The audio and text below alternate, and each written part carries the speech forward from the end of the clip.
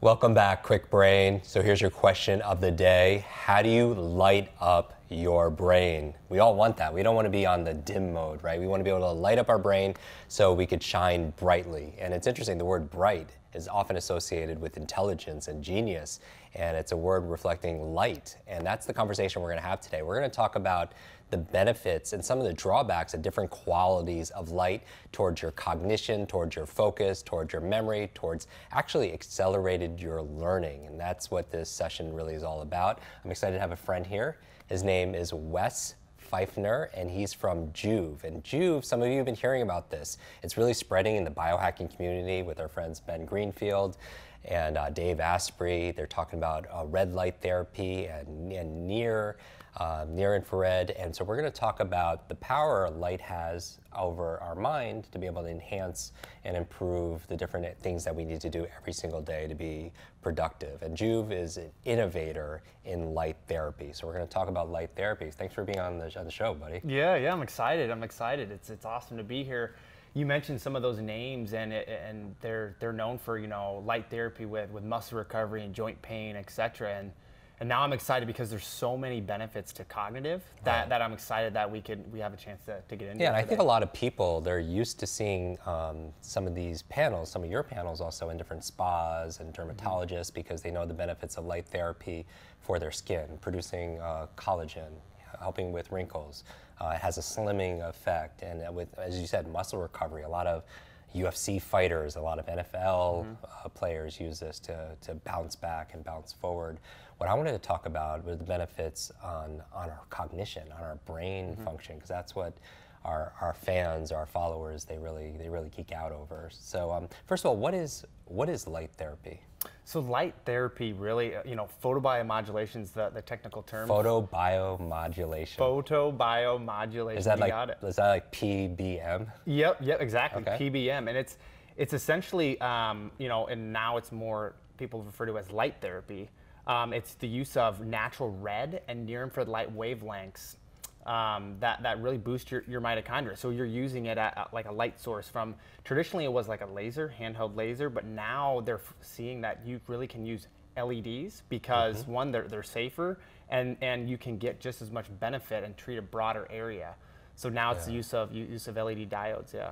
That's amazing. So when we're talking about, now I, a lot of people know that I am a fan of superheroes and uh, my, my superhero origin story, if you will, Superman. He gets his actual power from, from the sun. 100%. And it, it's kind of funny that he, us as humans, we're, we're no different. And you, you say sun, and, and most folks listening, they're like, how does, how does light do that? But, but when you know, we think of, most people think of light as it's something that helps us see better. But in, in reality, you know, we, there's also solar panels on the roof. And what are they doing up there? They're, they're capturing energy. And us yeah. as humans, we're no different as we literally absorb that light and use it as energy, uh, you know, as fuel for our bodies. Mm. We've had a number of sleep experts on our show, Dr. Michael Breus, uh, Shawn Stevenson, who authored uh, Sleep Smarter, and they're always talking about the benefits of getting out in the sun for like first thing in the morning to help regulate your sleep. How do you, how do you feel? Why is that? Why is that so? Uh, it's for your circadian rhythm. I okay. mean, that, that's one of the base things, and our, our circadian rhythm it lets our body know one uh, of our when we need to eat, when we need to sleep. It's really regulating the body of what time of day it is. And that's why that's so important in the morning of going out and seeing, you know, that sun before you're getting on your your computer, your laptop. It's important to to expose yourself and get your circadian rhythm off to what's naturally going on with with our environment. And there's yeah. there's too much where our devices help us, but yet it kind of takes us away from some of the key aspects of of just simple things of just getting some morning sun you know, right in the morning, which we all can do. You know, you were, we were talking, we were geeking out before we started to, to film right now. A lot of people, they're sedentary, not only sedentary behind desks, not moving, but they're also, they're not, they're not getting outside. I mean, how, what percentage of people are spending in time indoors? It's, it's staggering. 93% of Americans' time, a lifetime, is being spent indoors. 87% in, in an office or home, and then 6% in the car. And not only are we in inside, we're exposing ourselves to, to negative light versus good light of, of our of like blue light we were talking about, your TV screens, your computers, your laptops, that actually has a negative effect on our circadian rhythm when it's in, the, early in the morning or or late at night because it, it suppresses uh, production of melatonin. As you know, melatonin is a hormone that induces sleep. And if that starts to get you know messed up, we're just not going to get into that deep sleep that, that we need. Mm. Um, so there, there's a there's a trickle down effect there of one, we're not getting the benefits of of sunlight, of UV, um, etc., and then we're we're exposing ourselves to too much negative negative light. What about like we're indoors right now and it's little, a little bit hazy outside, but there's light that comes in through the glass. Is the glass prevent certain frequencies or yeah, it does. You really need to get out and get and get actual skin to light contact because the the most windows are going to block UVA, UVB, etc. From you know like just like you're riding in the car, you're just not going to get that good exposure. It'll feel good.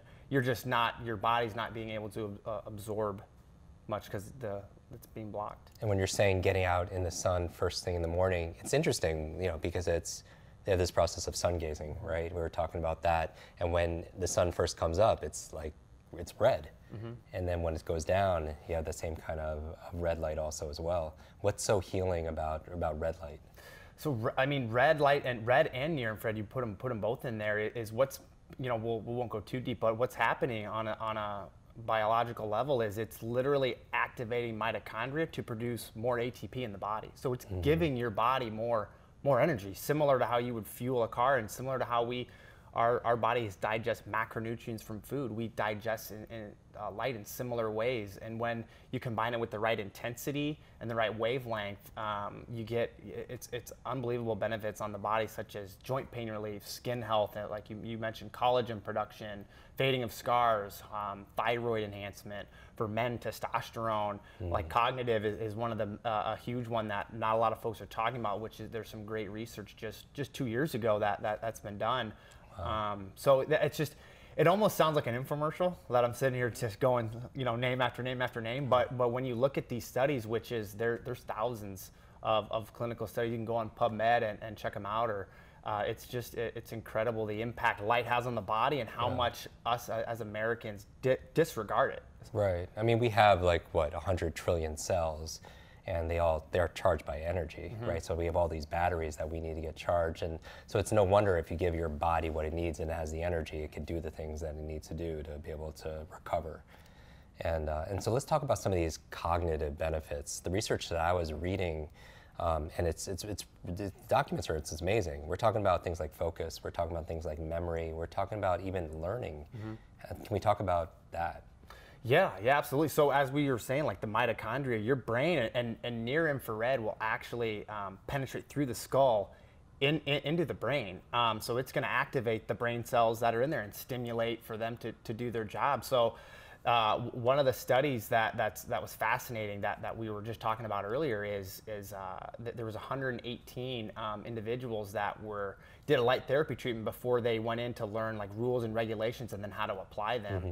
Um, and out of the 118, there was a placebo group, and then there was a, a, group that was exposed. And the, the group that was exposed to a light therapy treatment before um, the, the learning, uh, the uh, results were significantly higher in what they were able to, to comprehend and then apply versus the, the placebo group, which is just fascinating. And same thing with um, reactionary uh, brain, brain reactionary, yeah, same same exact. Like reaction time, people are able to. Yeah, yeah, yeah. Same same thing, which is which is super interesting and fascinating. But it, it makes sense when we go back to that base mechanism of it's activating the mitochondria, it's producing more energy, it's stimulating the cells to do their job, and it's you know it sounds like uh, i am repeating it, but it, I mean that's what's what's happening. It's just amazing that any part any part the light touches on the body, it, it benefits. Well, a lot of our audience they love they love the science of it. So we talk about like ATP, mm-hmm. right? So what's going on inside the cell? Yeah. So so during the fourth phase of, of cellular respiration, uh, the red and near infrared combined with the right intensity is actually breaking the bond between cytochrome C oxidase and nitric oxide, freeing up oxygen to pair with NADH, which is then in turn creating more ATP. So it's right. leading your cells from cellular death, which is what normally would happen, and it's releasing more nit- nitric oxide into the bloodstream. That's why a lot of athletes will say they see an increase in blood flow before mm-hmm. when they do treatments. So yeah, that's the base mechanism. Is it's down to the cellular level, as we know, the mitochondria. It's the powerhouse of the cell. Yeah. Um, it's breaking that bond and it's allowing your body to create more ATP. And you and and oddly enough, your body actually uses on a regular basis. It uses ATP to create ATP. Right. It's insane of how much our, our body is reliant on that. Yeah, I mean we're, we're like this human battery, Mm-hmm. right? And so we don't we don't necessarily have energy. We we, we we we create it all the time, and part of it is from our environment. It's wonderful because it's it's it's it's, it's available if you're out there doing those things. My biggest challenge is a lot of people they don't they don't get the requisite sunlight that they you know that their body Mm-hmm. and brain needs. And so this this uh, device that we were talking about, actually, we have one back here, and this is the a, a Joovv panel. Yeah, This yeah. is something I'm excited about because it's the first thing I do in the morning as part of my morning routine is I'll stand in front of it because if it's if it's dull light or it's faded outside, then I don't get that benefit. Yep. So I stand in front of it only like 10, 15 minutes a- and then the first thing in the morning, and I do it at nighttime also, and it helps dramatically with my sleep quality also as well. Yeah, yeah, and that and that's that that's that's what it's all about is getting that into your routine because you know me and, uh, and like other folks out there is we're busy, we're busy Right. during the day, and again think about that 93% of us, and it's not that we don't want to go outside, it's that we just we don't have time to, to go outside and sit in the sun. Um, so when you can expose yourself to a healthy dosage of light, like you're saying, it does those profound effects of, of sleep and and sleep is one of the I would say one of the number one um, feedback I get back from Yeah. from professional athletes because they're on the go so much that when they can incorporate this, they just sleep uh, so much better. Yeah, we've recommended the the Joovv your your device to a lot of our, our clients that we work with, and we get the same kind of response. And it's just it's funny because you know what what you put on your body matters, especially for your your gray matter. And a lot of people are watching and looking things to make make things more convenient. Because if it's too difficult, then these people won't won't do it. Definitely. And so let's say people, and now by the way, we'll, we'll put links to all the research at uh, our show notes, jimkwik.com forward slash notes. And if people want more information about this device called the Joovv, you could just go to jimkwik.com forward slash Joovv. That's J O O V, like rejuvenate, if right, you will. So that's really right. clever.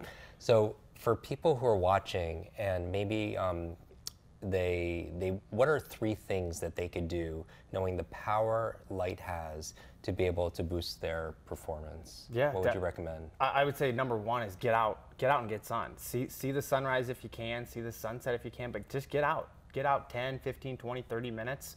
Um, there's a great there's there's tons of apps out there that you can get that that are, they're called D-Minder apps where they tell you when vitamin D is the highest. You can go out and wow. get those good beneficial wavelengths versus some of the negative you know wavelengths that can cause burning on your skin, etc. D-Minder. D-Minder app, yeah, yeah. There's that. So I have one on We'll- my phone. we'll put links to that in the show notes also as well that's very cool It it is. And then um, another one would be um, uh, just be cognizant of how much blue light you're exposing yourself to on a daily basis. and Ju- mostly the, the big culprit is our screens yeah, our screens, our phones. Um, we're, I mean, I, I w- walking over here, I, were, you know, I saw everybody was just like this on their phone. You know what I mean? And they're outside. Yeah. So it's just, it's just crazy. So just, just monitor how much blue light, and then when you're exposing yourself to that blue light. So at night, um, something, uh, a big thing you can do is, especially in the bedroom, is just get some red, red incandescent bulbs in there because Okay. red light at night does not affect your circadian rhythm. So if you're going to have complete darkness, that would be ideal. But if you're going to have light on, red light is the next best spectrum of light because it's not going to affect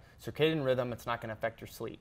Okay. And then the third one I would say is, is there's there's tons of um, screen uh, uh, uh, apps that you can download that actually can take some of the blue light out of out of your computer screen, so you Okay. can minimize that. Um, one of them I believe is, is Iris. It's a, it's a great it's a great uh, it's a great one. It's super affordable. I mean, it's less Yeah. than less than less than fifteen dollars. So those are those are some good hacks that I would recommend. I mean, get outside first of all, Yeah. mitigate the blue, and then in, in, incorporate uh, red, and then and then you know get some get some screens that you can so protect. iris or flux again we'll put them uh, links in the show notes also as well yeah absolutely so those are the three things we, we're talking about number one get out in the, the sun first thing in the morning ideally when the sun comes up because Yeah. that's how we as hunter and gatherers that, that was like our sleep cycle to make Mm-hmm. sure our uh, circadian rhythms are on track uh, number two um, putting red light actually in the bedroom Yeah. which is wonderful, you know, because that has none of the blue light that's going to be, you know, challenge our, our brain and our sleep patterns. Yep.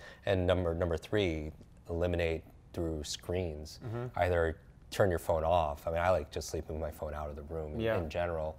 but get off the screens. Or if you're going to use a screen, use something like Flux, use something like Iris, use one of these blue mitigating uh, apps. Yeah, yeah, or the glasses too. Or the glasses too. Yeah, either one. Ama- amazing. Yeah. And, and if people want more information, we'll put all the studies and everything in the show notes again, jimkwik.com forward slash notes. And if you like more information about this Joovv technology, something I, I'm so excited about, something I use twice a day, every single day, you can go to jimkwik.com forward slash Joovv. That's J O O V. Thanks for being here, Wes. Yeah, absolutely.